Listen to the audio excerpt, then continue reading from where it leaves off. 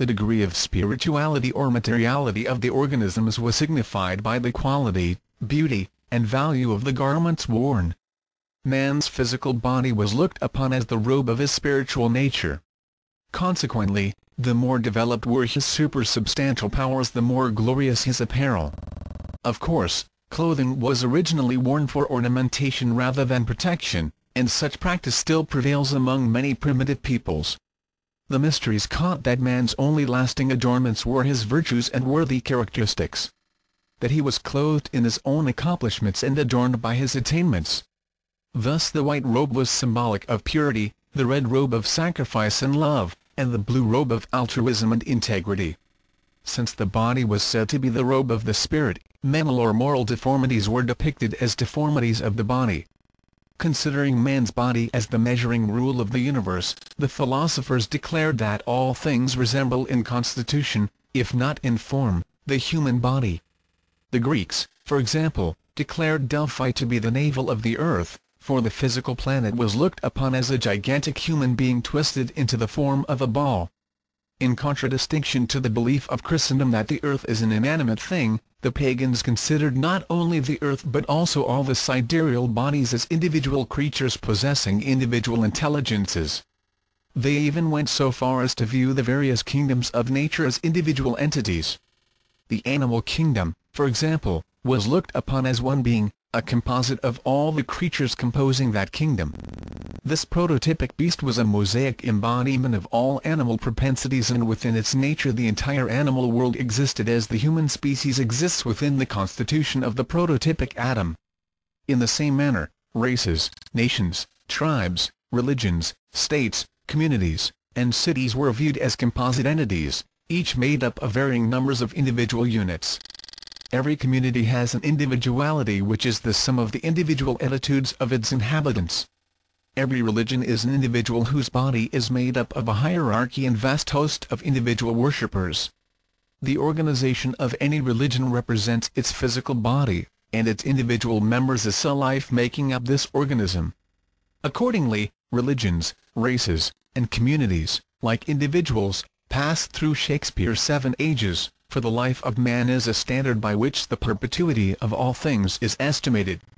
According to the secret doctrine, man, through the gradual refinement of his vehicles and the ever-increasing sensitiveness resulting from that refinement, is gradually overcoming the limitations of matter and is disentangling himself from his mortal coil. When humanity has completed its physical evolution, the empty shell of materiality left behind will be used by other life waves as stepping stones to their own liberation. The trend of man's evolutionary growth is ever toward his own essential selfhood. At the point of deepest materialism, therefore, man is at the greatest distance from himself. According to the mystery teachings, not all the spiritual nature of man incarnates in matter. The spirit of man is diagrammatically shown as an equilateral triangle with one point downward. This lower point, which is one-third of the spiritual nature but in comparison to the dignity of the other two is much less than a third, descends into the illusion of material existence for a brief space of time. That which never clothes itself in the sheath of matter is the hermetic anthropos, the overman, analogous to the cyclops or guardian daemon of the Greeks, the angel of Jakob Böhme, and the oversoul of Emerson, that unity, that oversoul, within which every man's particular being is contained and made one with all other. At birth only a third part of the divine nature of man temporarily dissociates itself from its own immortality and takes upon itself the dream of physical birth and existence, animating with his own celestial enthusiasm a vehicle composed of material elements, part of and bound to the material sphere. At death this incarnated part awakens from the dream of physical existence and reunites itself once more with its eternal condition. This periodical descent of spirit into matter is termed the wheel of life and death, and the principles involved are treated at length by the philosophers under the subject of metempsychosis.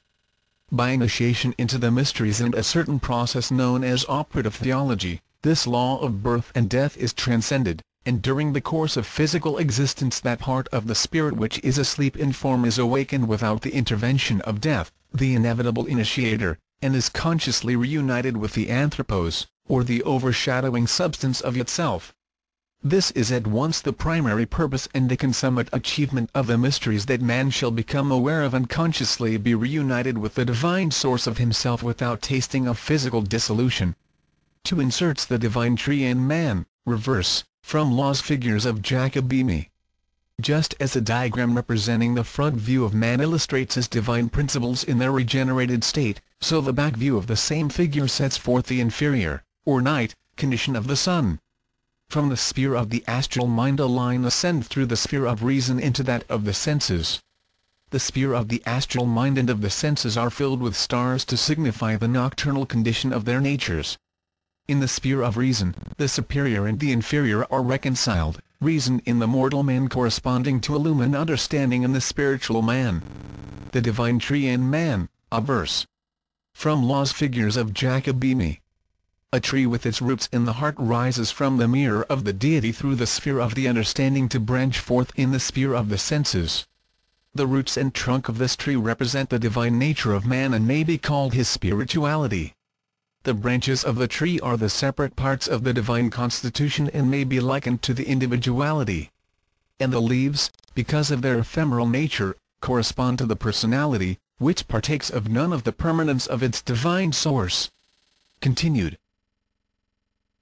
The Hiramic Legend When Solomon, the beloved of God, builder of the everlasting house, and Grand Master of the Lodge of Jerusalem, ascended the throne of his father David he consecrated his life to the erection of a temple to God and a palace for the kings of Israel. David's faithful friend, Hiram, king of Tyre, hearing that a son of David sat upon the throne of Israel, sent messages of congratulation and offers of assistance to the new ruler. In his History of the Jews, Josephus mentions that copies of the letters passing between the two kings were then to be seen both at Jerusalem and at Tyre despite Hiram's lack of appreciation for the twenty cities of Galilee which Solomon presented to him upon the completion of the temple, the two monarchs remained the best of friends. Both were famous for their wit and wisdom, and when they exchanged letters each devised puzzling questions to test the mental ingenuity of the other. Solomon made an agreement with Hiram of Tyre promising vast amounts of barley, wheat, corn, wine, and oil as wages for the masons and carpenters from Tyre who were to assist the Jews in the erection of the temple. Hiram also supplied cedars and other fine trees, which were made into rafts and floated down the sea to Joppa, whence they were taken inland by Solomon's workmen to the temple site. Because of his great love for Solomon, Hiram of Tyre sent also the Grand Master of the Dionysiac architects, Chiram Abiff, a widow's son, who had no equal among the craftsmen of the earth. Chiram is described as being a Tyrian by birch, but of Israelitish descent, and a second Bezaleel, honored by his king with the title of father.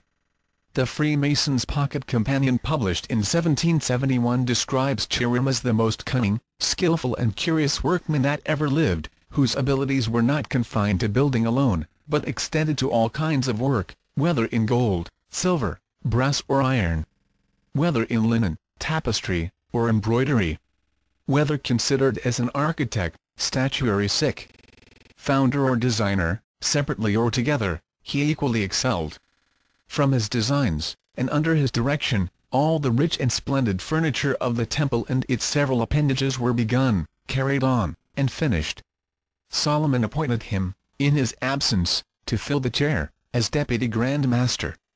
And in his presence, Senior Grand Warden, Master of Work, and general overseer of all artists, as well those whom David had formerly procured from Tyre and Sidon, as those Hiram should now send. Modern Masonic writers differ as to the accuracy of the last sentence.